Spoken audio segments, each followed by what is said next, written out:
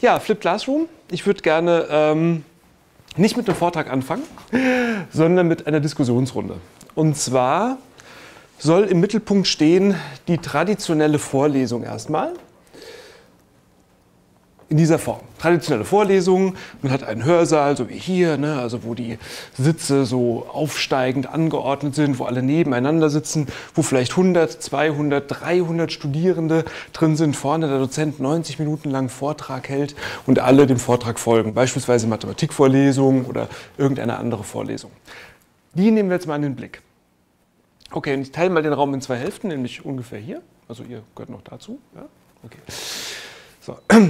Ihr werdet jetzt äh, die Rolle der absoluten Vorlesungsliebhaber einnehmen. Ja? Ihr kennt keine bessere äh, Veranstaltungsform als die traditionelle Vorlesung und euch fallen nur positive Aspekte der Vorlesung ein. Ihr hingegen werdet die Rolle der absoluten Vorlesungshasser einnehmen. Ja? Es gibt keine schlechtere Veranstaltungsform eurer Meinung nach und euch fallen nur negative Aspekte ein. So. Ich würde euch bitten, jetzt in den nächsten fünf Minuten mit Nachbarinnen und Nachbarn Zettel rausholen und entsprechend Argumente aufschreiben. Also positive Aspekte der traditionellen Vorlesung, negative Aspekte. Fünf Minuten und anschließend diskutieren wir drüber. Los geht's. Vielen Dank, es sind ja zahlreiche positive und negative Aspekte von Vorlesungen genannt worden. Vielleicht erstmal, warum mache ich das? Ähm, weil oftmals Vorlesungen in der starken Kritik stehen. Ne, so als, äh, ähm, keine Ahnung, uralte, überkommene Lehrveranstaltungsform aus dem Mittelalter und so weiter, nicht mehr zeitgemäß und so. Und diese Kritik relativ pauschal geäußert wird, aber trotzdem natürlich jede Menge positive Aspekte an der Vorlesung äh, oder eine Vorlesung viele positive Aspekte hat. Ich meine, jahrhundertelang wird damit gelernt und wir haben damit Ingenieure ausgebildet und Mediziner und Lehrer und so weiter und das funktioniert ja alles eigentlich ganz gut. Also so schlecht kann es auch nicht sein. Ja? Ähm, gut, gucken wir mal, welche positiven Aspekte genannt wurden. Äh, ein wesentlicher positiver Aspekt, der oftmals äh, hervorgerufen wird, ist, ähm, methodisch-didaktische Aufbereitung und ich kann viele Inhalte portionsgerecht aufbereiten. Ich habe 15 Wochen zur Verfügung und kann schön 15 Wochen lang den Stoff, den ich als Lehrender vermitteln möchte, mit meiner ganzen Expertise didaktisch aufbereiten, portionieren und entsprechend ja, präsentieren. Ja ich habe das ungute Gefühl, wenn ich jetzt hier total studierendenzentriert mit Projekten oder selbstentdeckend oder so daran gehe, da kriege ich nicht alles rüber, was ich halt rüberbringen will. Ich habe auch eine bestimmte Zeit zur Verfügung. Das heißt, und ich kann meine eigene Wertung nicht reinbringen. Das heißt, ich möchte ja eigentlich äh, aufgrund meiner Expertise bestimmte Inhalte bewerten, hervorheben, kommentieren und so weiter. Das kann ich wunderbar in der Vorlesung machen. Auf der anderen Seite, ein negativer Aspekt, der immer wieder genannt wird, ist, ähm, keine geschlossene Lerngruppe, hier rüber. Ähm, Heterogenität, hohe Heterogenität, das war, glaube ich, dein Hinweis. Ne? Genau. Ich habe äh, Studenten, die verstehen nicht so schnell, worum es geht. Es gibt andere, die langweilen sich und so und ich versehe sie aber mit ein und derselben Präsentationsgeschwindigkeit. Hilda hat vorhin gemeint, das ist ökonomisch. Ne? 300 Leute gleichzeitig mit demselben Wissen versehen. Auf der anderen Seite könnte man auch sagen, das ist unökonomisch. Also dass heutzutage 300 Menschen mit Bus, mit Bahn, mit Fahrrad, mit dem Auto und so weiter sich jede Woche an einen Ort bewegen müssen, um sich nebeneinander hinzusetzen, die Klappe zu halten und gemeinschaftlich in den Rezeptionsmodus zu begeben. Ja?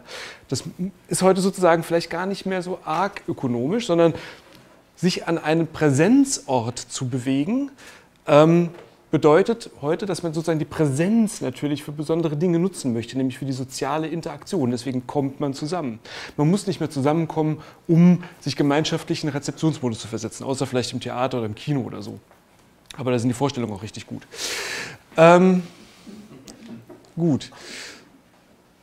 Ja. Ähm, einfach vorzubereiten für den Dozenten. Ich halte jedes Jahr meine Vorlesung. Ja, das ist ein positiver Aspekt. Ähm, also irgendwann, wenn ich die routiniert halte, muss ich nicht mehr großartig Dinge tun. Also für den Dozenten ist es auch effizient. Ähm, gucken wir nochmal. Ja, hier wurde was genannt, Uni-PH, keine Schule. Das fand ich interessant. Äh, also wir sind ja in der Hochschule, haben andere Lehrveranstaltungsformen. Das war genau der Grund, weswegen ich in eine, ja, in eine zwiespältige Situation geraten bin. Und zwar, ich lehre ja auch an der Pädagogischen Hochschule. und ich habe jede Menge Lehramtsstudenten. Mathematik in der Regel, aber auch Informatik. So. Jetzt habe ich Mathematikveranstaltungen, also Einführung in die Mathematik, Grundlagen, Modul 1 und äh, Mathematik-Didaktikveranstaltungen. So, jetzt erzähle ich in der Didaktikveranstaltung sowas wie, bitte nicht 45 Minuten Frontalunterricht machen in der Schule. Ne? Also 10 Minuten Unterrichtsgespräch, einführen in ein Thema, Problemstellung klar machen, irgendwie zeigen, worum es geht, was zu tun ist und dann die Schüler zum Arbeiten bringen. Ne? Denn die verstehen das nur, wenn sie selbst Aufgaben lösen müssen, versuchen müssen anzuwenden, äh, sich mit dem Gegenstand aktiv auseinanderzusetzen. Wechsel, danach 90 Minuten Mathematikvorlesung, ich stehe vorne, mache 90 Minuten Frontalvorlesung. Ja? Und die Studenten natürlich ähm, gerechtfertigterweise kritisieren das. Sagen, also es kann doch nicht sein, dass auf der einen Seite erzählt, 45, nicht nur Frontalunterricht in der Schule macht, auf der anderen Seite macht er selbst nur Frontalunterricht. Also ich habe mich inkonsistent gefühlt und ich wollte auch in meinen Mathematikvorlesungen studierendenzentriert arbeiten. Mit, nach Möglichkeit, nach möglichst viel individuellem Feedback. So, wie kann ich das machen mit 200 Leuten? Also 200 Leute in der Regel in meiner Vorlesung oder 150, manchmal sind es auch weniger. Hallo. Äh, wie kann ich die in ihren individuellen Lernprozessen unterstützen und coachen? In diesem Setting. Ich zeige nochmal das grundsätzliche Setting, von dem ich ausgegangen bin, weil man dann versteht, wie ich es sozusagen geändert habe. Also, früher war es so Input, Vorlesung. 200 Studenten kommen im Hörsaal zusammen und ich gebe 90 Minuten Vorlesung. Einführung in die Logik, Aussagenlogik, Mengenlehre, äh, Teilbarkeitslehre und so weiter. Das führt oftmals dazu, dass Studierende in der Vorlesung sitzen und nicht mehr folgen können. Also typisch bei Mathematikvorlesungen. Ne? Man sitzt da und denkt so, hä, das habe ich jetzt aber nicht verstanden. Ich bräuchte gerade mal 10 Minuten Pause, um das nochmal zu durchdenken, was gerade gesagt wurde. Die kriege ich aber nicht. Ja, sondern da vorne geht es gnadenlos weiter und so. Und dann schreibe ich halt mit, um irgendwie noch zu Hause nachvollziehen zu können, worum es in etwa ging, um dann zu Hause das nochmal nachvollziehen zu können und ja, hoffentlich zu verstehen. Während andere sich gegebenenfalls langweilen. Ja, große Heterogenität im Hörsaal. So, dann Vorlesung vorbei, Aufgabenblatt, Aufgabe 1 bis 6, A bis F wird zu Hause gelöst im Selbststudium. Ich sage den Studenten zwar immer bitte nicht alleine, sondern in Lerngruppen zusammensetzen. Das war dein Kommentar. Also natürlich muss man sich dann anschließend zu Hause aktiv mit dem Lernstoff auseinandersetzen. Problem dabei ist, es ist niemand da, den ich fragen kann. Also nicht wirklich. Ne? Ich habe jetzt auch meine Lerngruppe vielleicht, aber vielleicht hängt man in der Luft und so weiter. Dann Sprechstunde kann man vielleicht gehen und so. Aber beim Prozess selbst bin ich erstmal auf mich gestellt und anschließend geht es am Ende der Woche in das Tutorium Übungsgruppe, kleinere Gruppen, da habe ich ein paar davon mit Studenten höheren Semesters, die diese Übungsgruppen leiten und die ja, sind dazu da, um gemeinsam mit den Studenten die Lösungen zu besprechen. Ne? Das wird dann entweder so gemacht, der Tutor trägt die Lösung vor oder gute Studenten tragen die Lösung vor. Was dazu führt, dass diejenigen, die hier selbst nicht so richtig weitergekommen sind, da drin sitzen und vielleicht denken, ah ja klar, das ist die Lösung, aber da wäre ich selbst nie drauf gekommen. Ne? Dass der Tutor das kann, ist mir klar und dass der gute Student das kann, ist mir auch klar, aber ja, ich selbst wäre da nicht drauf gekommen. So. Dieses, mit dem Setting war ich extrem unzufrieden. Gerade im hinsichtlich, wie kann ich sozusagen die Studenten in ihrem individuellen Lernprozess fördern und wie kann ich mehr Möglichkeit bieten für Feedback, für Diskussion, für das Klären von Fragen und so weiter. Und geholfen haben mir dabei die Vorlesungsvideos. So. Vorlesungsvideos äh, habe ich folgendermaßen produziert, ein Semester lang, ohne überhaupt zu wissen, dass ich irgendwas umstellen will. Ähm, ich wollte einfach nur folgenden, Folgendes erreichen. Ich wollte den Studenten, die in der Vorlesung sitzen und nicht mitgekommen sind, die also gerade gesagt haben, hä, denen wollte ich nachmittags die Möglichkeit geben, nochmal in die Vorlesung reinzugucken. Das war mein erstes Anliegen. Also was habe ich gemacht? Ich habe einen studentischen Mitarbeiter gebeten, mit einer Videokamera, so ähnlich wie jetzt hier, im Raum zu stehen und zu filmen. Ich halte meine ganz normale Vorlesung und der steht da, filmt ab. Und nachmittags ist er angehalten, das Ding einfach zu schneiden, irgendwie in sinnvolle Häppchen und auf YouTube hochzuladen. Keine große Postproduktion, keine Räusperer rausschneiden und so weiter. Einfach nur möglichst pragmatisch und effizient schneiden, hochladen, damit die nachmittags zur Verfügung steht. So. Ich zeige mal ein Beispiel. So. Ähm, so, passen wir auf. Beschäftigen wir uns mal weiter mit diesen komischen, unendlichen, aber periodischen Kettenbrüchen. Ne? Nehmen wir mal den hier. 3, Semikolon und dann Periode 6. Ja? Also Periode 6 im Sinne von, was ist das hier? Das ist die 3 plus 1 durch, und jetzt kommt es, So, ich mache mal äh, Pause. Ist klar, wie es funktioniert. Ne? Es ist jetzt nicht sonderlich äh, super Video. Ne? Das ist einfach keine High-Quality-Production oder so, ne? sondern einfach draufgehalten. So, der studentische Mitarbeiter ist angehalten, also möglichst die Tafel im Blick zu behalten, möglichst nicht so viel zu schwenken, sondern es geht darum, dass diejenigen, die zuschauen, die Tafel sehen, auch wenn ich mich bewege. Es kann sein, dass ich mich mal so zur Seite bewege dann, und eine Anekdote erzähle oder so, dann wäre es vielleicht ganz nett, wenn er mir folgen würde, aber ansonsten nicht zu viel rummachen. Ganz wichtig, Ton mit einem Funkmikro direkt in die Videokamera rein, damit der Ton gut verständlich ist. Ne? Das ist sozusagen die, der Hauptaspekt von diesen Videos ist Ton. Also das Bild muss nicht so super sein, es kann so ein bisschen kriselig sein und so, damit kann man leben, aber 90 Minuten Rauschen oder schlechte Verständlichkeit kann kein Mensch ertragen, das kann, kann man nicht bringen. Also, Ton muss sehr gut sein und ja, dann hoch, hochladen und schneiden.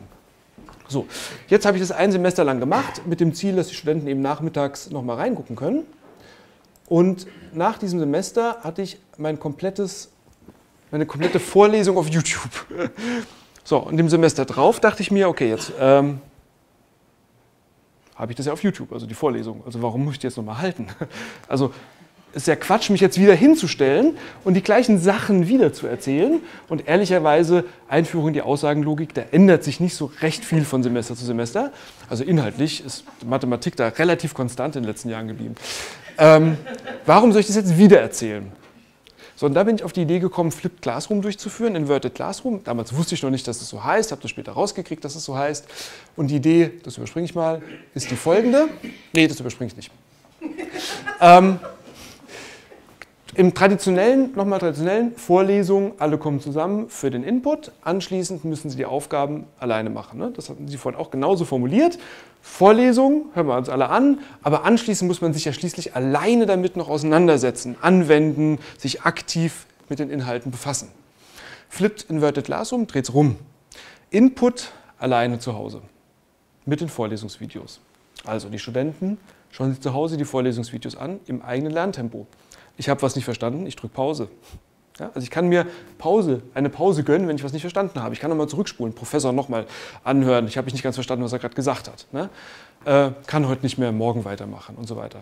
Also mit, diesem, mit der Vorlesung an sich im eigenen Tempo auseinandersetzen, sich selbst auf ein bestimmtes Verständnislevel bringen, um dann zusammenzukommen, wofür es wert ist, zusammenzukommen, nämlich für die Auseinandersetzung, für die gemeinschaftliche Auseinandersetzung mit Inhalten. Diskussion, Aufgaben lösen und so. Das kann ich besser, wenn alle anderen dabei sind. Also wenn ich Aufgaben lösen soll, ist es gut, wenn um mich herum Leute sind, die das auch machen müssen, weil mit denen kann ich reden. Und der Dozent ist da in der Situation, damit ich ihm Fragen stellen kann. Der Dozent wird hier zu demjenigen nicht der präsentiert, sondern der berät. Und also genau die Rolle, die man eigentlich in konstruktivistischen Lernszenarien so haben sollte. Ne? Der Lehrende als Coach, als Begleiter auf der Seite, der Hilfe geben kann. So, ist natürlich so, 200 Studenten in der Vorlesung, seien wir mal ehrlich, da kann man nicht individuell beraten. Aber in der Situation kann man schon, in der ich das jetzt in dieser Form äh, umgestellt habe. Und zwar, wenn man mal diese drei Aktivitäten nimmt, habe ich jetzt folgendermaßen geswitcht. Input, Selbststudium, alleine. Mit Vorlesungsvideos und Aufgaben. Das kommt später noch. Dann Aufgaben bearbeiten im Tutorium, in den Kleingruppen. Die Tutoren sind angehalten, es wird nicht vorgerechnet. Keine Frontalsituation in der Übung. Die Übung ist ein Gruppenraum, in dem Studenten hinkommen können und gemeinsam in ihren Lerngruppen an den Aufgaben arbeiten. Und der Tutor ist, läuft rum und hilft. Gibt individuelle Hilfe, Feedback im Sinne von minimaler Hilfe. Das heißt, wenn eine Gruppe nicht weiterkommt, rufen sie einen Tutor, sagen, hier, wir stecken hier und dann sagt er, ah, gar nicht schlechter Anfang, ihr habt schon ein paar Beispiele aufgeschrieben, jetzt macht doch mal eine systematische Tabelle. Oder, ah, nicht schlecht, gut, mach doch mal eine Skizze, vielleicht hilft euch das und so. Ne? Also es gibt so ein paar Tipps, wie man weiterkommt. Dann gehen wir anschließend am Ende der Woche in die Vorlesung, nicht am Anfang. Also ich als Dozent, als Hauptdozent der Veranstaltung, ich beginne nicht die Woche, sondern ich schließe sie ab. Am Ende kommen alle in die Vorlesung gemeinschaftlich mit den Vorlesungsvideos und den bearbeiteten Aufgaben und so weiter, um mit mir nochmal die letzten Fragen zu klären, die schwierigsten Probleme zu bearbeiten, nochmal bestimmte Themen tiefer zu besprechen und so weiter. Dieser Weg vom, von der alleinigen Auseinandersetzung über die Auseinandersetzung in der Kleingruppe bis hin zu, wir kommen als Gesamtgruppe einmal in der Woche zusammen und besprechen die Dinge, erscheint mir lernprozesstechnisch logischer. Ja? Ich bin derjenige, der als Oberexperte der Veranstaltung die richtig schwierigen Fragen beantworten kann. Ich sollte am Ende da sein. Nicht der studentische Tutor, der am Ende auch nicht alle Fragen beantworten kann. Es ist auch klar, dass der wichtigste Teil hier ist das da, nicht das da. Ich brauche extrem gute Tutoren, die individuell beraten können, weil die sind diejenigen, die in der Lernsituation individuell beraten können. Die haben nur 20 Studenten in der Gruppe. Ich kann das hier hinten nicht natürlich, ne? aber ich kann trotzdem meine Vorlesungen so gestalten, dass wir möglichst viele Fragen besprechen können, dass ich nochmal auf studentische äh, Kritikpunkte oder unverstandene Dinge eingehen kann und es gemeinsam mit Ihnen besprechen kann. Okay, das ist das Grundprinzip.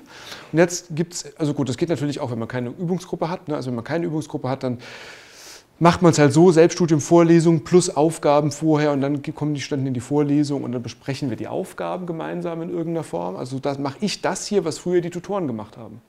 Ja? Ähm, und das geht natürlich besser, wenn es noch kleinere Gruppen sind. Aber letzten Endes, je nachdem, in welcher Situation man sich befindet, muss man sich überlegen, was können die Studenten am besten alleine machen und wann ist es gut, zusammenzukommen und gemeinsam bestimmte andere Dinge des Lernprozesses durchzuführen. So, jetzt gibt es einige Fragen, die wahrscheinlich in den Köpfen rumschwirren und die würde ich jetzt aufgreifen. Äh, eine Frage, die öfter mal kommt, ist, warum Videos?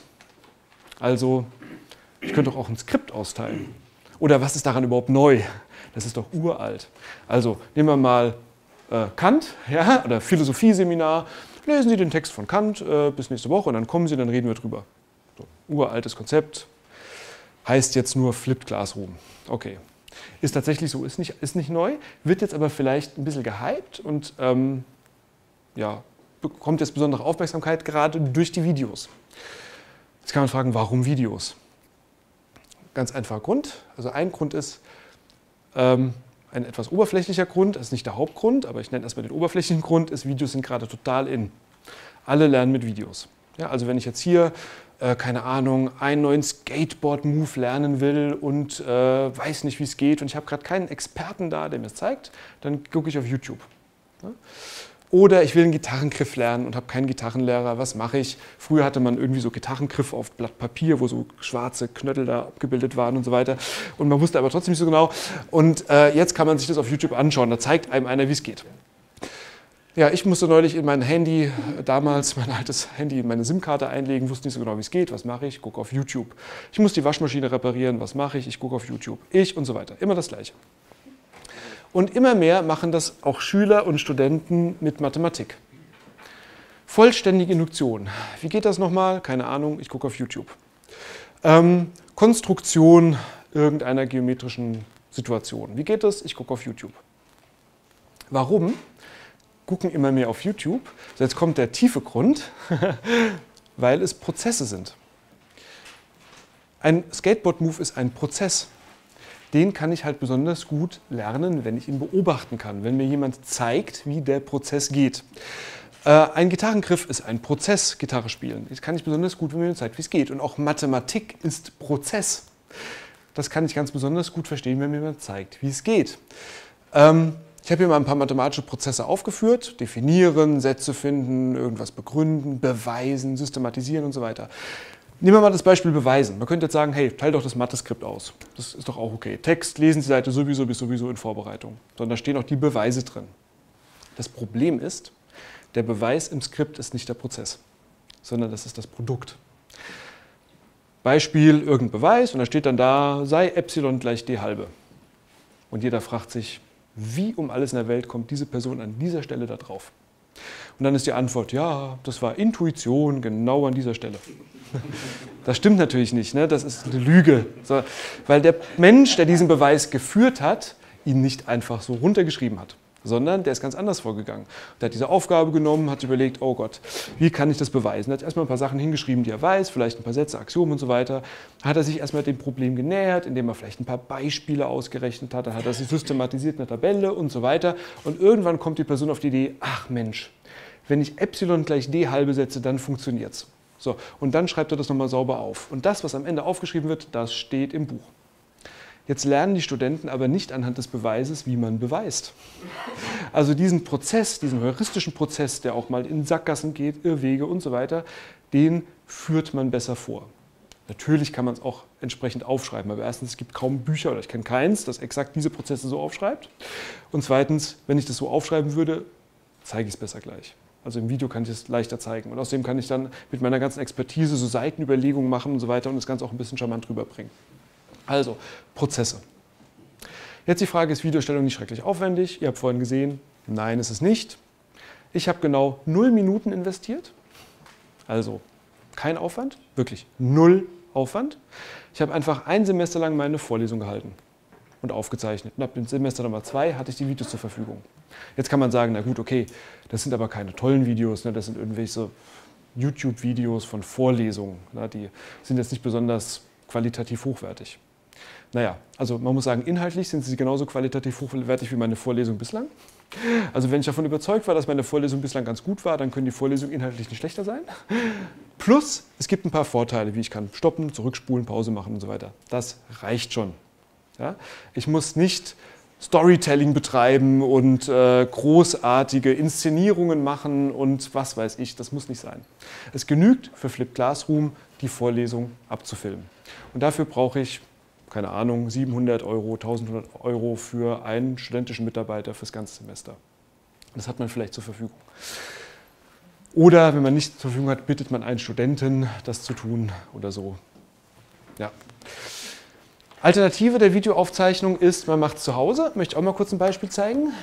So, okay, köpfen wir mal die Ärmel hoch, würde ich sagen, und äh, machen wir mal einen Teilbarkeitsbeweis.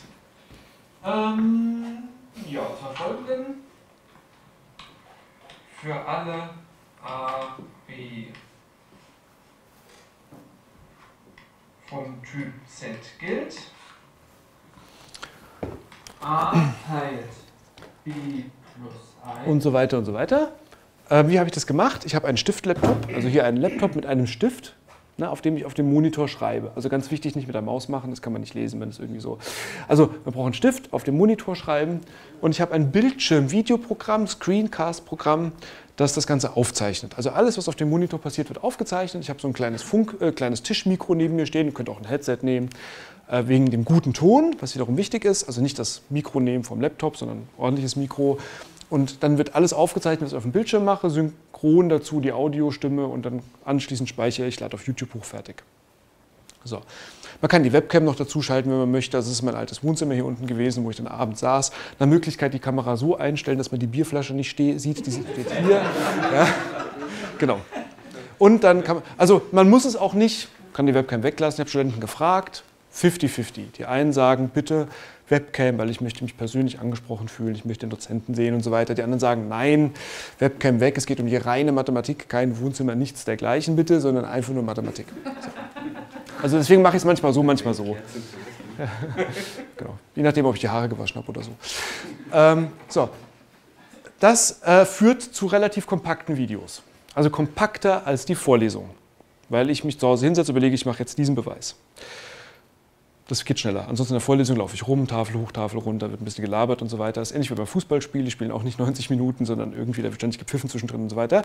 Und genau diese Zeit spare ich ein beim Aufzeichnen zu Hause. Nachteil Nummer eins, es kostet mehr Aufwand. Also ich muss mich zu Hause hinsetzen, die Zeit brauche ich erstmal. Im Hörsaal ist wesentlich effizienter für mich. Und zweitens, ähm, es wirkt ein bisschen spröde, weil keine, kein Auditorium da ist. Also im Hörsaal merkt man, da ist jemand, der hört zu. Ich habe Adrenalin, ich spreche ganz anders, da ist irgendwie der Spirit da vom Hörsaal und so, das ist eine ganz andere Atmosphäre. Das merkt man hier. Da hilft auch nicht der Teddybär, den ich vor mich gesetzt habe oder so. Also das ist irgendwie ein bisschen langweiliger. Und übrigens ist es auch so, äh, man könnte das jetzt hier perfektionieren mit Skript zu Hause und, und äh, genau den Text vorher überlegen und so weiter. Je mehr ich da reinstecke in Perfektionierung, umso langweiliger wird das Video. Also nach Möglichkeit authentisch erzählen. Ja. Auch durchaus mit der Gefahr, dass man vielleicht mal einen Fehler macht. Ist nicht so tragisch. Über Fehler können wir später noch reden. Genau. Dritte Möglichkeit, Videos zu verwenden, ist gar keine zu produzieren. Nämlich mit folgendem Hintergrund, sondern die Videos von anderen zu nehmen. Also, wenn Sie Zahlentheorie als Vorlesung haben, ja, gucken Sie mal, ob jemand eine Zahlentheorie-Vorlesung online gestellt hat, kann man auch nehmen vielleicht. Ne? Also genauso wie man auch nicht, nicht jeder sein eigenes Skript schreibt, also sein eigenes Buch schreibt, sondern man sagt, nehmen Sie doch bitte das Buch von Müller, Meyer, Schulze, kann man genauso gut auch die Videos von irgendjemand anders nehmen, ne, wenn der entsprechend die zur Verfügung gestellt hat. Ähm, also am besten auch mit dem Dozenten einfach sprechen vorher. Hey, ich habe gesehen, du hast eine Video-Online-Vorlesung, kann ich die nehmen in meiner Veranstaltung? In der Regel finden die Leute das toll und freuen sich auch drüber. Ne? So, eine weitere Frage, die durch die Köpfe geht, ist, alles schön und gut, aber bereiten sich die Studenten denn vor? Also, wenn ich, meine vor wenn ich darauf baue, dass die Studenten zu Hause die Videos gucken und vorbereitet in die Vorlesung kommen, um dann mit mir darüber zu reden, funktioniert das ja nur, wenn die Studenten sich vorbereiten. Aber Seien wir mal ehrlich, das tun sie ja nicht. Ne? genau. Das ist ja auch immer das Problem von diesen Referatsseminaren. Da lesen den Text von Kant und so weiter und dann kommen die Studenten und haben den nicht gelesen. So. Und ich glaube, das liegt daran, nicht weil die Studenten nicht vorbereiten oder faul sind oder so, sondern weil man es methodisch ganz leicht total falsch machen kann. Ich kann es einfach von Anfang an versauen und dann bereitet sich keiner vor. Und ich erzähle jetzt mal, wie ich es gemacht habe. Mehr oder weniger zufällig. Das war gar nicht so sehr mein, äh, mein Anliegen, ja? sondern es hat funktioniert und dann habe ich mir Gedanken gemacht, wie kriege ich es hin, dass Studenten sich vorbereiten. Und zwar folgendermaßen. Ich habe die komplette Veranstaltung in selbstverantwortliches Lernen gestellt, Kontext selbstverantwortlichen Lernens. Und zwar folgendermaßen. Ich tue es mal so, als sind Sie meine Studenten in der ersten Vorlesung, erste zehn Minuten Einführung in die Mathematik, erstes Semester. Die Zeit, in der normalerweise erklärt wird, welches Buch man kaufen muss und so weiter. Okay? Gut. Herzlich willkommen zur Mathematikvorlesung Einführung in die mathematischen Grundlagen 1. Das ist keine Vorlesung. Ich habe die Videos alle online stehen. Ich habe die ganze Vorlesung aufgezeichnet auf Video, die steht komplett online. Das heißt, Sie können die Vorlesung zu Hause angucken. Ich gebe Ihnen jetzt die komplette Vorlesung an die Hand. Außerdem gebe ich Ihnen alle Materialien sonst an die Hand, also Aufgaben, Lösungshinweise und so. Sie kriegen die kompletten Materialien jetzt von mir. Das heißt, Sie können sich mit diesen Materialien selbstständig auf die Klausur am Ende vom Semester vorbereiten. Also ich verarsche Sie nicht und so weiter, das ist wirklich der Stoff und so. Ne? Damit können Sie selbstständig vorbereiten. Das heißt, Sie brauchen ab sofort nie wiederzukommen. So, ich sehe schon erste ängstliche Blicke, ja. ähm, keine Angst, Sie haben es gleich falsch verstanden. Ich, Sie nicht, äh, ich lasse Sie ja nicht alleine damit, sondern ich unterstütze sie. Ich gebe ihnen jede Menge Unterstützungsangebote. Welche Unterstützungsangebote gibt es? Die Vorlesung, die keine mehr ist, sondern ich nenne sie Plenum oder Plenumsveranstaltung. Einmal kommen wir zusammen am Ende der Woche, um Fragen zu besprechen. So. Es gibt keine Anwesenheitskontrolle. Sie müssen nicht kommen.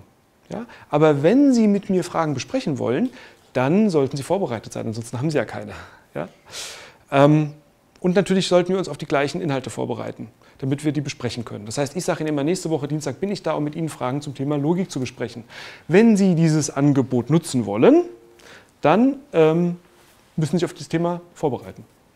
Mit den Videos und den Aufgaben. Wenn Sie es nicht nutzen wollen, dann machen Sie es nicht. So. Oder Übungsgruppen. Da sind Tutoren anwesend, die helfen Ihnen bei dem Lösen der Aufgaben. Die sind anwesend, Fragen zu beantworten. Sie können die Aufgaben irgendwo lösen, wo Sie wollen, an der Neckarwiese, in der Mensa, zu Hause und so weiter. Oder Sie können sie im Tutorium lösen. Und da ist jemand da, der hilft Ihnen. Auch das ist ein Angebot. Sie müssen nicht kommen. Alles Angebot. So. Das erzähle ich Ihnen in den ersten zehn Minuten. Dann erzähle ich Ihnen in der ersten Veranstaltung so ein bisschen was über, ja, ähm, machen wir gemeinsam eine Aufgabe, ich zeige Ihnen ein Video, wie man damit arbeitet und so weiter. Ähm, in der zweiten Woche, also das Entscheidende ist natürlich, was passiert in der zweiten Woche. So. Da kann man ganz viel falsch machen. Fehler Nummer eins. Ich komme rein und sage so, wir haben uns alle auf Logik vorbereitet, ich fasse das nochmal kurz zusammen. Wenn ich zusammenfasse, bereitet sich keiner mehr vor. Ist klar. Okay, das ist ein Fehler, das ist relativ offensichtlich, würde ich sagen, klar, macht man nicht. Fehler Nummer zwei. ich komme rein. So, herzlich willkommen zur zweiten Woche. Sollten sich alle vorbereiten. Frage, wer hat alles die Videos geschaut? So, die Frage liegt einem irgendwie auf der Zunge. Man möchte wissen, wer hat es gemacht. Ne? Dummer Fehler. Weil es melden sich 50 Prozent. So. Man bringt eine ganz doofe Situation. Was mache ich denn jetzt? Es haben mehr geschaut als die 50 Prozent. Ein paar von denen, die es geschaut haben, trauen sich nicht zu melden, weil sie denken, sie kommen dran und so weiter. Ähm, Also es hat nur, es haben natürlich am Anfang noch nicht alle gemacht. Ne? Viele haben es gemacht, weil im ersten Semester ist man irgendwie Zufall, man will irgendwie, weiß nicht genau, was Studium ist und so, ne? und will aufpassen, dass man nicht gleich runterfällt. Aber ein paar haben es auch nicht gemacht. So, also, man stellt diese Frage nicht, sondern folgendermaßen, man kommt rein. So, herzlich willkommen zur zweiten Vorlesung. Äh, wir haben uns ja alle auf das Thema Logik vorbereitet. Jetzt holen Sie bitte mal Ihre Mitschrieb raus. Sage ich gleich, wie, wie das äh, angewiesen wurde. Ne? Oder das, die Notizen, die Sie sich gemacht haben, Aufgaben rausholen. Fünf Minuten mit der Nachbarin, mit dem Nachbarn, gucken Sie Ihre Notizen an, vergegenwärtigen Sie sich nochmal, womit Sie sich vorbereitet haben und insbesondere identifizieren Sie Fragen, die wir anschließend besprechen sollen. Bitte murmeln. So, jetzt holen alle ihre Unterlagen raus, murmeln und so weiter und äh, besprechen und fangen an zu gucken, was weiter, wo sind die Fragen und so. In der Zeit habe ich unendlich viel Zeit rumzulaufen und mal zu gucken. Aha, gar kein Mitschrieb. ja? Genau. Ja. ja, Sie wissen, äh, Sie können jetzt nicht mitarbeiten. Ne? Ja, ja, ich weiß und so, okay. Ähm, gut, aber klar, was machen wir beim nächsten Mal? Vorbereiten. Ja, genau, gute Idee und so. Das heißt, ich gehe rum und ähm, bringe einige wenige in peinliche Situationen, in, in, unangenehme Situationen. Also ich identifiziere diejenigen, die dachten, sie können anonym bleiben in ihrer Unvorbereitetheit, identifiziere ich als, ihr seid unvorbereitet. Das kriege ich nicht bei allen, also bei denen damit. Ich habe jetzt nicht gesehen, dass sie nicht vorbereitet waren. Ne? genau. Ja. Ja. ja. genau, gut platziert, genau. Aber sowas spricht sich auch rum und so. Insofern, ähm, ich, ich bringe einige in unangenehme Situationen. Erstens. Zweitens, ich kann rumgucken, schauen, höre so ein bisschen, was Studenten reden und so weiter und kriege mit, wo Probleme liegen, kann mal Fragen stellen, habe also mehr Kontakt und kriege mit, wo sind Schwierigkeiten. Okay, ich komme nach vorne, stelle mich hin und sage, so, jetzt Ruhe. Wie mache ich das mit der Ruhe? Das Problem ist gerade, wenn man so Diskussionen hat im Hörsaal, wo man ständig zwischen Diskussionen und Frontalphasen wechselt, man braucht immer ewig, bis Ruhe ist. Also wenn jetzt alle murmeln, 200 Leute murmeln, wie bringe ich die ruhig? Das habe ich auch in der ersten Woche trainiert. Ich habe, äh, bin ich auf die Idee gekommen, aus der Grundschule habe ich das übernommen. Klangstab. Ne? Ich habe vorne so einen Klangstab liegen und das trainiere ich mit den Studenten in der ersten Woche. Also wenn der Klangstab ertönt, wenn der Klangstab ertönt, es funktioniert wirklich. Wenn der Klangstab ertönt, drei Sekunden darf keiner mehr irgendwas machen. In die absolute Schockstarre verfallen. Ja? Also so sage ich es natürlich nicht, ne, sondern absolut nichts mehr machen. Also nicht reden, ist klar, aber auch nicht Tisch hochklappen, runterklappen, Ordner aufmachen, zumachen, Mäppchen, Ritschratsch und so weiter, sondern jeder beobachtet sich selbst einfach, Klangstab, nichts tun. So, das funktioniert natürlich am Anfang nicht, ne? das trainiert man ein paar Mal und dann klappt's. Ja, also mir wird oft vorgeworfen, das ist irgendwie, äh, keine Ahnung, äh, Drill oder sowas. Ja? Ich nenne es Ritual. Und ganz ehrlich, ähm, das in Volksschulklassen auch so. Bitte? Wir machen das in Volksschulklassen ja. auch so. Ja. Und ganz ehrlich, und ganz ehrlich, ja, das ist nichts. Dass das bei Erwachsenen auch funktioniert. Genau, es ist nichts Neues und man darf es auch nicht missverstehen. Ich mache hier nicht Drill and Practice, sondern ich mache ja Situationen, in denen Studenten aktiv arbeiten. Ich brauche aber die kompletten 90 Minuten Lernzeit. Ich brauch, will hier nicht 10 Minuten draufgehen und pssst, bitte ruhig und so weiter. Ja? Das, das geht auf meine Nerven und auf die Nerven aller und so weiter und meine Stimme ist mir heilig und so. Also Klang, fertig, so. Also Mummel, Mummel, Mummel, Ding. So. Welche Fragen gibt es? Können wir sofort weitermachen, dann kommen schon die ersten Finger, Fragen und ich beantworte die aber nicht, sondern ich schreibe die erstmal an die Tafel. So, also stichpunktartig Fragen an die Tafel schreiben, dann haben wir alle Fragen gestellt. Jetzt gehen wir sie nochmal durch und priorisieren sie. Wer hat auch alles Frage 1? Da gehen die Finger nach oben, ich mache so Strichlisten, wer hat alles Frage 2 und so. Okay, und dann am Ende schauen wir Frage 3. Das hatten die meisten. Sie hatten Frage 3 gestellt, können Sie nochmal wiederholen. Mhm. Okay, hat jemand eine Idee? So, das heißt, diejenigen, die sich nicht vorbereitet haben, merken in der zweiten Woche, ich meine es ernst, Also ich setze voraus, dass vorbereitet wurde. Ich diskutiere gar nicht, ob irgendjemand nicht vorbereitet ist und so, was wir dann machen, sondern ihr seid vorbereitet. Ihr holt eure Unterlagen raus, wir diskutieren eure Fragen. Fertig. Wer nicht vorbereitet ist, hat keine Chance, sich zu beteiligen, kann keine Fragen stellen, hat überhaupt keine Ahnung, worum die Fragen gehen, kann sich nicht bei den Fragen beantworten, beteiligen und so weiter. Ja? Wenn man das konsequent gleich von Anfang an so macht, dann ist deutlich, ich meine es ernst. Und wenn ihr euch nicht vorbereitet, kein Problem, ihr braucht ja nicht kommen. Ja, ich zwinge euch ja nicht zu kommen. Ich arbeite mit denen, die das Angebot nutzen wollen. So. Was erreiche ich dadurch? Ich erreiche gleichzeitig auch von Anfang an einen Fokus auf selbstverantwortliches Lernen im Studium, weil darum geht mir es. Ich kann nicht immer sagen, Studenten können nicht selbstverantwortlich lernen, die kommen und sind keine selbstverantwortlichen Lerner und ich schaffe im Studium aber auch gar keine Situationen, in denen ich sie dabei unterstütze, das zu machen. So, so forciere ich das extrem. So. Gut, ähm, das heißt, dann anschließend kommt direkt die Fragerunde. Das kann man übrigens auch schon, mittlerweile mache ich das nicht mehr so mit, wer hat, äh, welche Fragen gibt es und so weiter, sondern die sammle ich vorher schon online in, in unserer Online-Umgebung sage ich, wir besprechen alle Fragen im Plenum, die vorher da drin stehen. Das heißt, die Studenten sollen die schon vorher online stellen. Und wenn jemand anders die Antwort schon weiß, kann er dir da auch dazu schreiben im Forum und dann brauchen wir die gar nicht mehr besprechen. Gut, ja, und dann gehen wir in die Diskussion. Also, Frage 3 war, nochmal wiederholen, wer hat eine Idee? Und jetzt ist natürlich die, die Situation, kein Mensch meldet sich jetzt und sagt, ich habe eine Idee sondern das wäre wahrscheinlich eine schwierige Frage gewesen, die ist jetzt nicht so einfach zu beantworten. Die hatten ja viele. Also was machen wir? Ich kann jetzt nicht vorne stehen und warten. Ne? Wir hatten eine Idee und so, da warte ich zehn Sekunden, das dauert mir ein bisschen zu lang, ich stelle die Frage noch ein bisschen anders und irgendwann beantworte ich sie selbst. Nee. also Frage, alle gehört, alles klar. Bitte drei Minuten mit der Nachbarin, Nachbarn murmeln über Ideen, wie man auf diese Frage antworten könnte. Murmeln, murmeln, murmeln, murmeln. Ich laufe wieder rum, schaue, was die Studenten so machen, was sie reden, infiziere ein paar mit, sie melden sich gleich. Ah, das ist aber eine gute Idee. Die bitte gleich in die Diskussion einspeisen und so, lauf rum.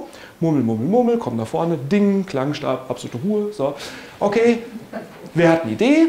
Dann kommen die ersten Finger und dann sammeln wir die Antworten vorne an der Tafel. Und ich moderiere sozusagen die Diskussion.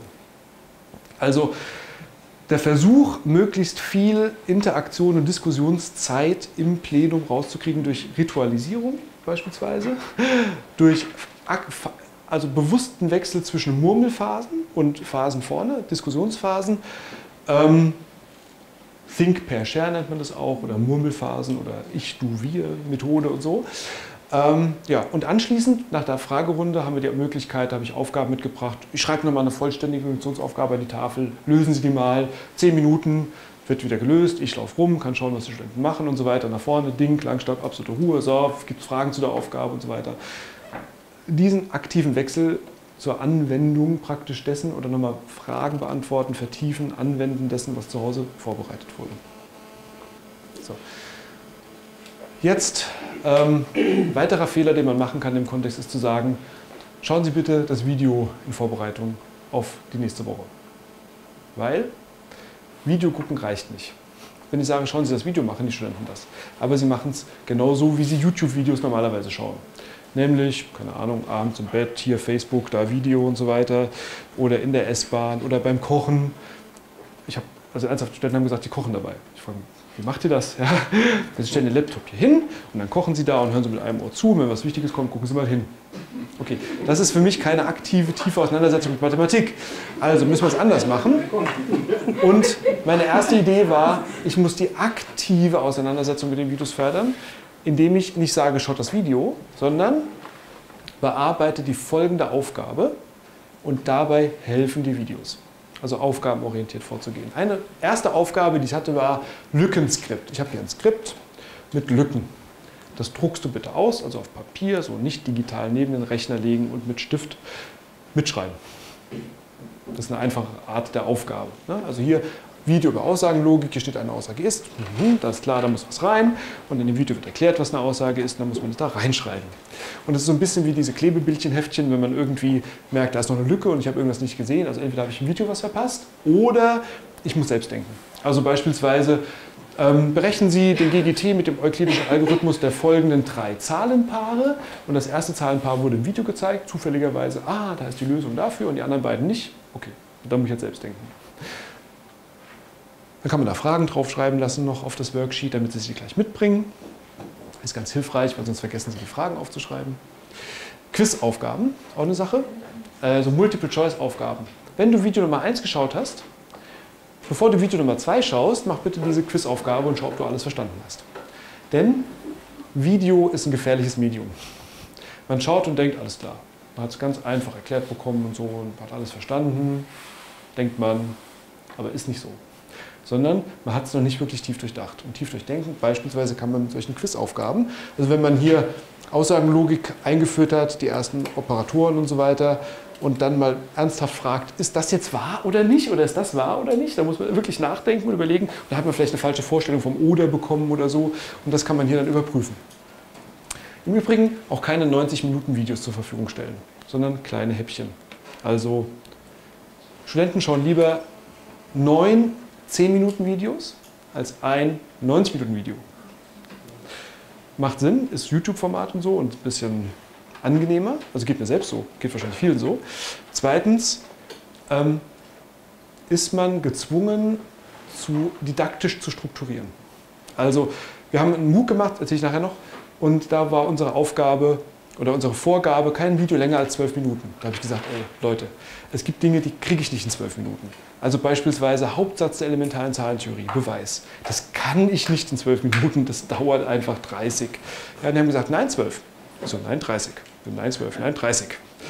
Und dann bin ich auf den Gedanken gekommen, okay, vielleicht mache ich einfach vier Videos draus und überlege mir Teilprozesse in diesem Beweis. Und die gibt es. Da brauche ich den Satz vom kleinsten Teiler, dann mache ich den doch separat und, und so weiter. Ne? Und das hilft sozusagen dabei, auch nochmal didaktisch zu segmentieren, zu sagen, das Video dazu, das Video dazu, das Video dazu. Und es hilft einem auch später, die Videos wiederzufinden. Also wenn einer sagt, ich brauche nochmal den Satz vom kleinsten Teiler, der war irgendwo beim Hauptsatz elementaren Theorie, dann muss ich jetzt nicht 90 äh, Minuten durchscrollen und suchen, sondern ich wähle einfach diesen Teil aus.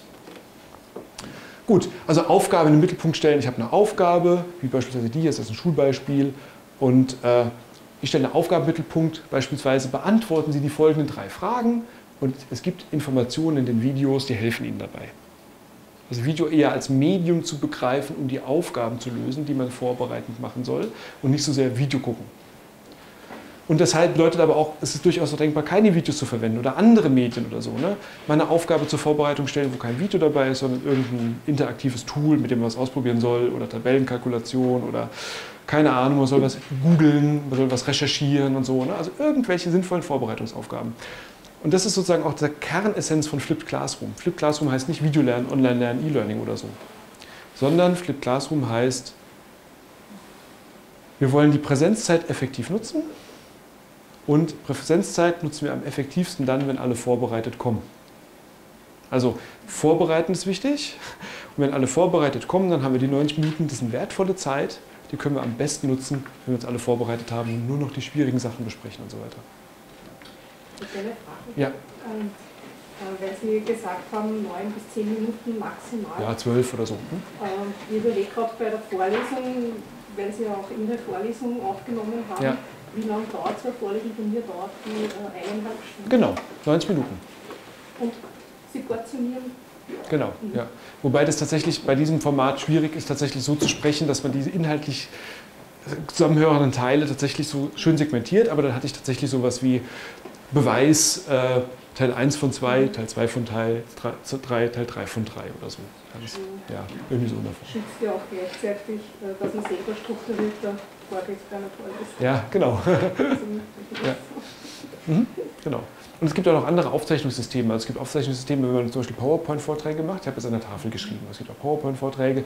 Da gibt es auch Systeme, die können Video aufzeichnen plus den PowerPoint-Vortrag und dann segmentieren anhand der Folienüberschriften. Also dann kann man sozusagen Folienüberschriften ansteuern und sieht das Video zu, diesem, zu dieser Folie, was auch super ist. Gut, ähm, so dann die Frage, was mache ich jetzt mit den Leuten im Hörsaal? Ich habe schon mal Beispiel gesagt, mit Fragen und so weiter. Aber oftmals kommen dann die Fragen, welche Methoden gibt es denn jetzt für Großgruppen? Also welche Methoden kann ich jetzt einsetzen im Hörsaal? Und da denken die meisten an sowas wie Gruppenpuzzle, Bienenkorb, äh, Fishbowl oder sowas. Also ganz allgemeine Geschichten. Ähm, das ist nicht die Antwort, sondern die Antwort ist folgendermaßen, da muss ich auch kurz ausholen.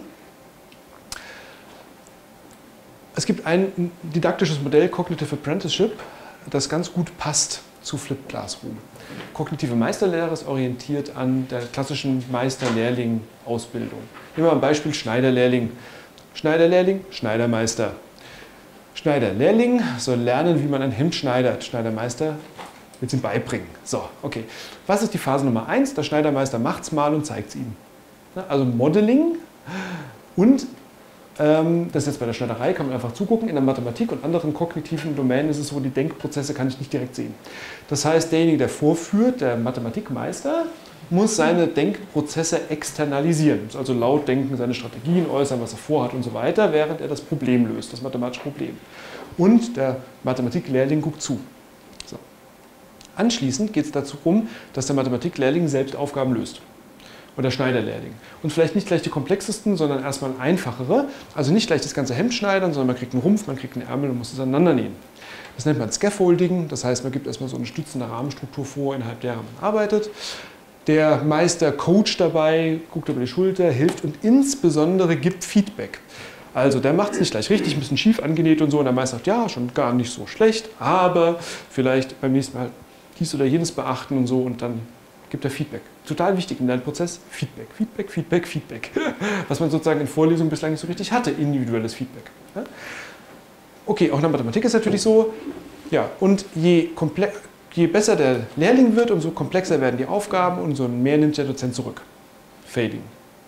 Gut.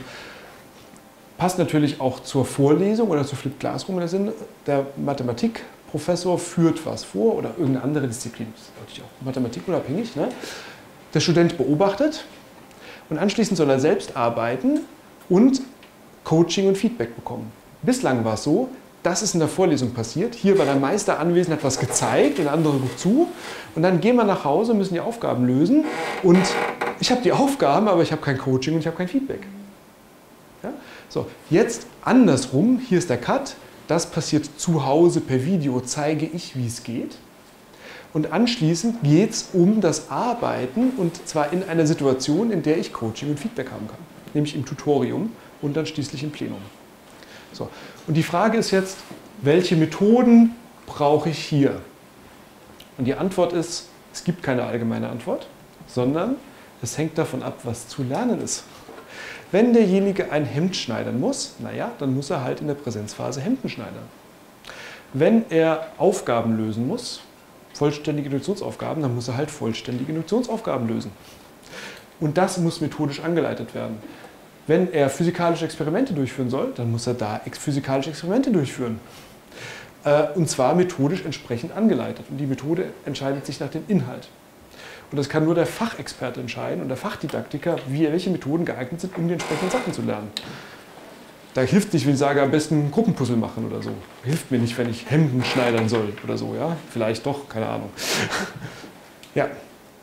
Wenn man so eine alte Lernzieltaxonomie von Bloom mal hernimmt, ähm, die kann man kritisieren und so weiter. Ist das wirklich eine Hierarchie? Ist eigentlich keine Hierarchie, aber wurscht. Äh, unten Remember, ne, ich kann was erinnern, dann habe ich es verstanden, ich kann die Begriffe auch miteinander in Beziehung setzen und so, erkenne Zusammenhänge und nachdem ich das verstanden habe, kann ich anwenden, analysieren und auch die höheren Prozesse durchführen, bewerten und erstellen. Es ist keine Hierarchie, weil ich kann nicht erst verstehen und dann anwenden, weil durch das Anwenden verstehe ich ja auch mehr und so weiter. Da gibt es so Rückbezüglichkeiten, aber ich muss zumindest mal ein bisschen was verstanden haben, um anwenden zu können. So. Bislang war das hier früher Teil der Vorlesung und ganz die Prozesse da oben war Teil zu Hause. Flip Classroom heißt, das hier ist zu Hause, ich bringe mich selbst auf ein Level, understand und dann kommen wir zusammen und beschäftigen uns mit den Prozessen hier. Ja, was mache ich in meinen Präsenzveranstaltungen? Ich mache Fragerunden, ähm, Think per Share, Gruppendiskussionen, aktives Plenum als Methode, das haben wir vorhin gemacht. Äh, aktives Plenum heißt, Studenten kommen nach vorne, moderieren etwas und ich setze mich nach hinten. Beispielsweise eine Pro-Kontra-Diskussion. Pro, Kontra, ich gehe nach hinten. Drei Studenten kommen nach vorne, einer schreibt die Pro-Argumente an, einer die Kontra-Argumente an die Tafel und der dritte moderiert. Oder ich stelle eine Aufgabe, schreibe an die Tafel, bitte lösen Sie die, zwei Studenten kommen nach vorne. Die müssen die Aufgabe aber nicht an der Tafel lösen. Also nicht die, die vorne stehen, müssen rechnen oder so, sondern dann würden die anfangen, in Tränen auszubrechen und so vor 200 Leuten. Sondern die müssen nur moderieren. Das heißt, eine Moderatorin, ein Protokollant, der schreibt die Aufgabe an die Tafel, die Moderatorin sagt, so, wer hat eine Idee und so weiter und dann werden die Ideen zusammengetragen und er schreibt alles auf, was es gibt, auch an Kritikpunkten und Fehler, die er merkt, einfach aufschreiben. Das Plenum denkt und beteiligt sich und ich sitze hinten und beobachte das Ganze. Wichtig, nicht an der Seite stehen, weil ansonsten wenn irgendwas gesagt wird, dann gehen sofort alle Köpfe zu rum, um an subtilen Mimik- und Gestikäußerungen festzustellen, ob es jetzt richtig war oder nicht. Ja? Also möglichst aus dem Blickfeld und von hinten das Ganze kontrollieren. Können wir vielleicht da gerade noch drüber reden. Ja, ich plane meine Vorlesung jetzt so. Also mit Strukturskizze.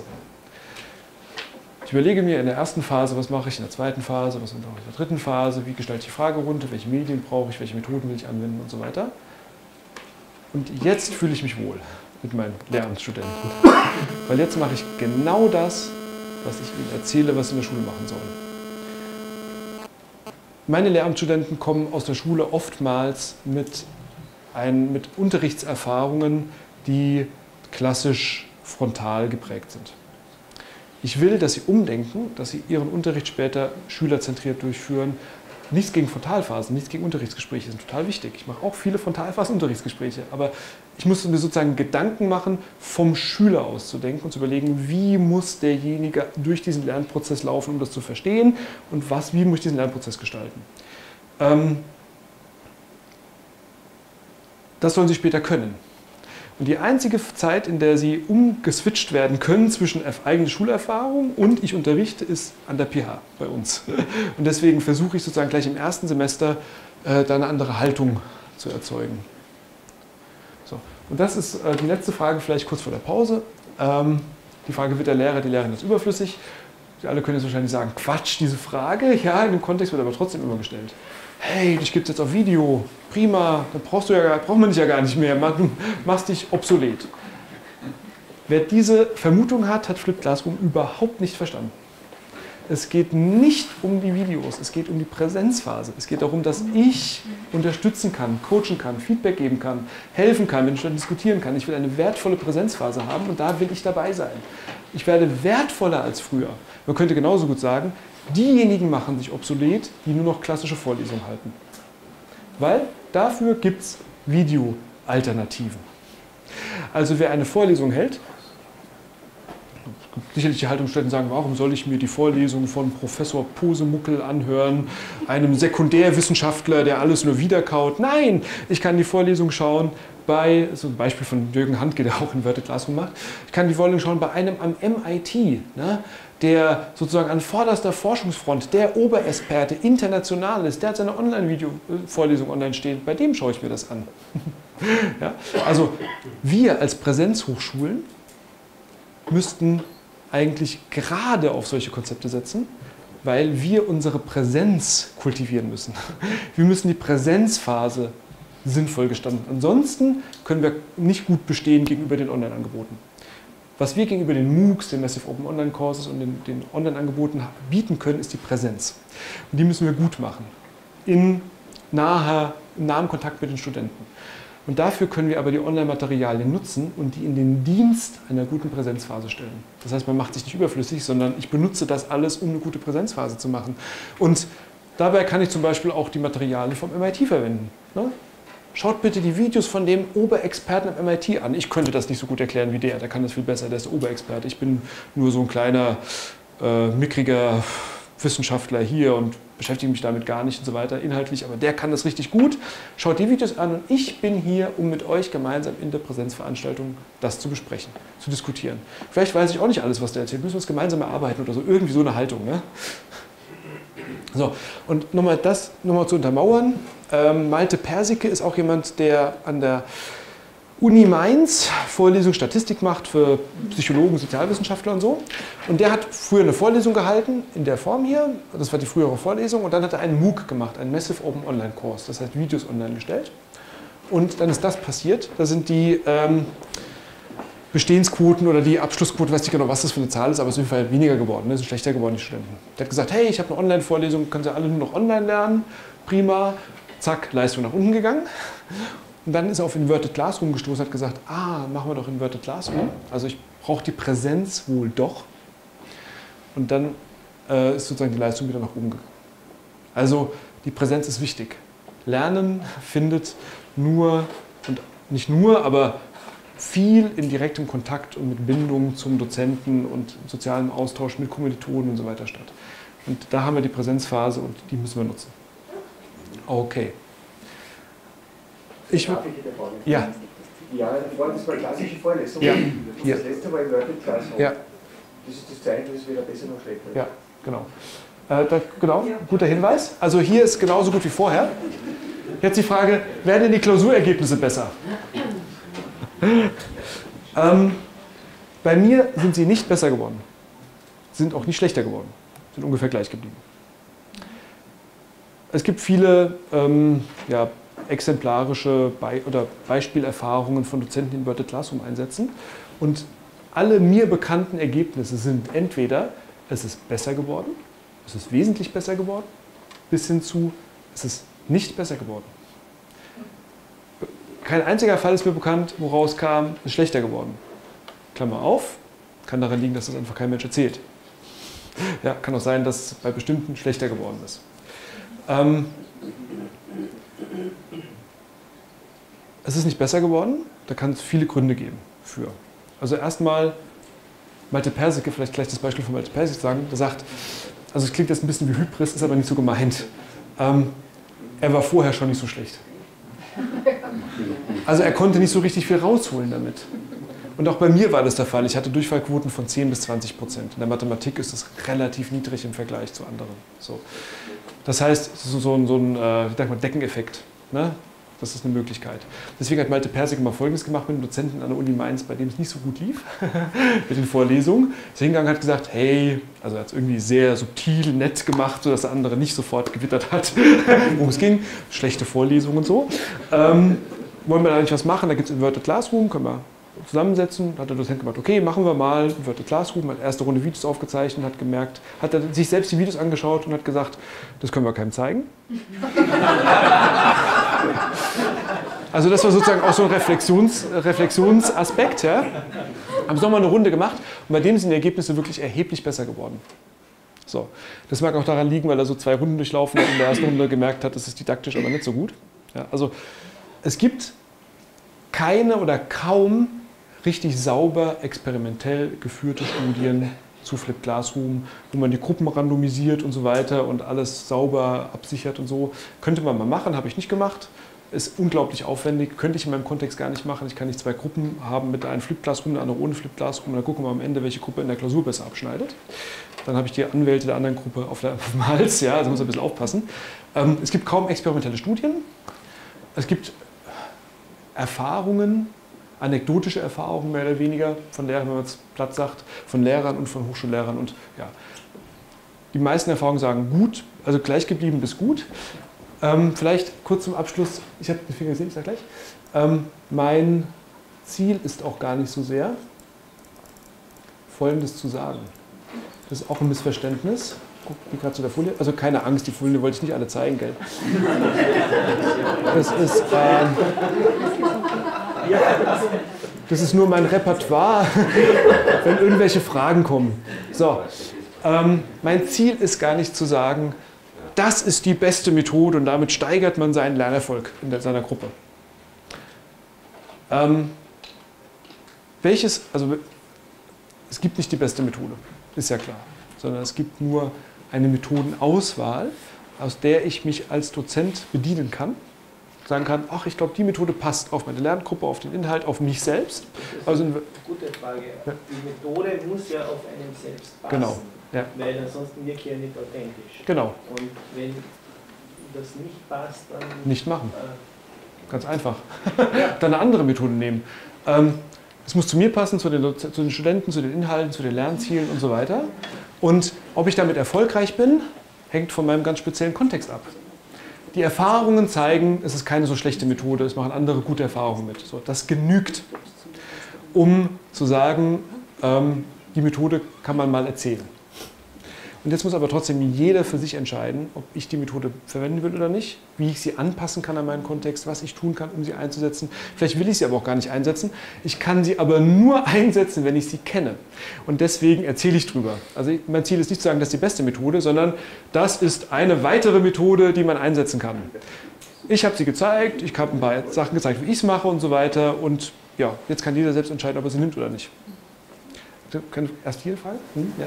Ähm, ich denke mir, es ist ja nicht nur ähm, der Learning Outcome, sondern im Sinne des Paradigmen-Shifts from Teaching to Learning geht es ja um den Lernprozess. Ja. Also es geht ja nicht, ob ich jetzt bei der einen Klausur am Donnerstag, den 19. Mai zwischen, 20, äh, zwischen 13 und 14 Uhr ein sehr gut, gut oder befriedigend schreibe, sondern welche Haltung äh, entwickle ich als Lehrerin, als Lehrer. Ja. Weil sonst bleiben wir ja nach wie vor im Alten verhaften und brauchen über Heterogenität und, und unterschiedlichen Lernvoraussetzungen lebenslange Lernen ja. gar nicht sprechen. Genau. Also, drum, also was mir besonders gut gefällt, ist auch die Freiwilligkeit, Mhm. weil ja auch äh, Bild vom Lernenden Ja. ganz was. Also es äh, geht von mehr Vertrauen in die Lernenden. Und wir haben an unserer PH diese äh, autonomen Wochen forschenden Lernens gemacht, wo alles auf Freiwilligkeit basiert ist. Auch die Teilnahme an Workshops, an Reflexionen. Und wir haben da sehr gute Feedbacks bekommen. Äh, vor allem waren die Studierenden selbst überrascht, dass sie als Lernende einmal eine Bedeutsamkeit erfahren haben. Also ich bin wichtig für die Gruppe. Und äh, auch das Vertrauen, das wir Dozenten äh, in sie gesetzt haben. Also ich werde Okay. das sicher ausprobieren und ich denke mir, das war. Und es ist halt ein Prozess Genau. Es geht um den Lernprozess. Vielleicht müsste man auch die Prüfungen ändern. Also diese Klausur am Ende entspricht vielleicht gar nicht mehr so arg, aber okay. Ich habe mal kurz darüber nachgedacht, ob ich 250 mündliche Prüfungen machen will und habe mich dagegen entschieden. Also es ist halt auch eine gewisse pragmatische Lösung, so eine Klausur zu machen. Es geht, ich kann es auch gar nicht anders, was in der Prüfungsordnung vorgesehen ist und so weiter. Ähm, okay, ist einfach so. Aber vielleicht sozusagen um den Prozess und vielleicht lernen die andere Dinge, die nicht geprüft werden. Da bin ich mir überzeugt von, aber ich habe halt keinen keine empirische Nachweis dafür. So. Ja. Aber ganz ehrlich, wer hält denn traditionelle Vorlesungen, weil sie sich als empirisch die bessere Methode herausgestellt haben? Kein Mensch. Ich halte Vorlesungen, weil es schon immer so gemacht wird. Das ist so das denkbar dämlichste Argument. Wird schon immer so gemacht, mache ich es auch so. So. Ähm, das ist der Grund, warum Vorlesungen gehalten werden. Ähm, oder nicht vielleicht der Grund, vielleicht denkt man, okay, das ist sinnvoll und so weiter. Aber zumindest gibt es kein Argument, wenn man fragt, ist jetzt Flip Classroom besser als Vorlesung? Frage ich immer ganz kurz zurück, ist denn Vorlesung besser als Flip Classroom? ja? Also weiß man nicht. Mhm. Ja. Was mich inter interessieren würde, was sagen die Studierenden dazu? Die erleben ja, wahrscheinlich jetzt äh, diese Art und dann auch die traditionelle Art. Und vielleicht Genau. kann man dort qualitativ vielleicht trotzdem irgendwelche Ja. Aussagen treffen. Genau, das haben wir natürlich evaluiert. Das machen auch ganz, ganz viele, weil das auch relativ einfach zu erheben ist. Also wir fragen Studenten, wie finden sie die Methode und so weiter. Und meine und die Erfahrung von anderen ist äh, positiv, sogar äußerst positiv. Also sie mögen die Methode, lieben ist vielleicht übertrieben, aber sie mögen sie. Ja. Äh, dann fragt man, warum? Naja, weil man die Videos nochmal vor der Prüfung anschauen kann. Das ist jetzt nicht so mein Ziel gewesen, aber okay, das ist total verständlich. Ja, das ist so ein Hauptargument. Aber auch, ähm, weil man äh, sich durch die Videos im eigenen Tempo durcharbeiten kann. Und so. Also das ist, mögen die total. Ja, Videos, also Vorlesungen im eigenen Tempo durcharbeiten, wird geliebt. Ähm, auch die Interaktivität in der Vorlesung, dass man Fragen stellen kann, so weiter, wird alles positiv bewertet. Einziger Nachteil ist es mehr Aufwand zu Hause. So, und dann sage ich, okay. es ist nicht eigentlich, es ist mehr Aufwand als in einer normalen Vorlesung vielleicht, aber es ist nicht zu viel Aufwand. Ich habe ja ECTS Punkte und ich rechne Studenten vor, wie viel studentische Leistung in Stunden und so weiter sie zu Hause erbringen müssen und welcher Anteil davon das Vorbereiten zu Hause ist. Es wird vorgerechnet, das heißt, es ist vorgesehen. Ich erreiche durch diese Methode vielleicht, dass Sie kontinuierlicher zu Hause aktiv arbeiten und nicht erst vor der Klausur. So. Das ist sozusagen in deren Wahrnehmung natürlich eine Mehrbelastung während der Woche. Aus meiner Sicht ist es genau das, was hilft beim Lernen. So. Und das versuche ich Ihnen auch deutlich zu machen. Das sind ja auch alles Lehramtsstudenten. Das heißt, die haben ja auch alle die Ebene, dass sie darüber das reflektieren können, sagen, ja, das ist schon sinnvoll so und so.